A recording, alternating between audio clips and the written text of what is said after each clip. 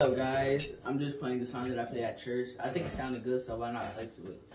And I'm playing with my new Zildjian cymbal, so yeah. Somebody make a sound of victory in this place.